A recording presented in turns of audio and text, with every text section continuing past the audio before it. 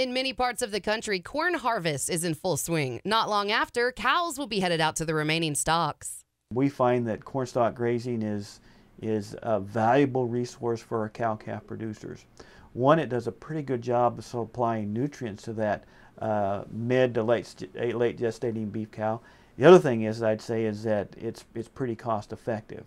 It's important to monitor the availability of stalks and to not overstock the fields.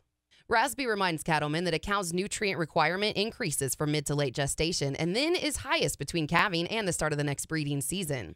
Cattlemen can use a simple tool to ensure the herd's needs are being met.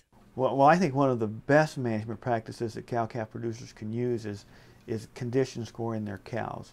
And as we transition here from fall into winter, especially for spring calving cows, paying close attention to body condition is, is really important because body condition not only has an impact on what happens at the time of calving, but body condition at the time of calving also impacts how, how quickly those cows are going to uh, rebreed during that next breeding season. Nutrition affects more than just the results at preg checking time, though. Nebraska work shows that calves whose dams were protein supplemented the last 90 days of gestation have increased carcass quality.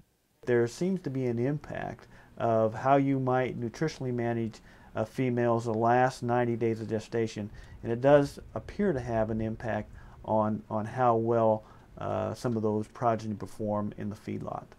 All important considerations as ranchers make cow herd plans this fall and winter.